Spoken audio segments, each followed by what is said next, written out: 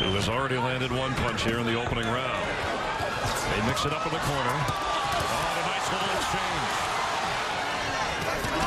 Too big. They're still trying to figure each other out. The timing, the distance. Well, there's a body shot, then a shove. We'll show that to you. We have a chance. We don't want to miss any live action here. As the action is getting hot and heavy. Oh, there's a Now right. he's getting hurt. Now he's hurt. Oh, there's a right from James. And he's going to the body of Gonzalez.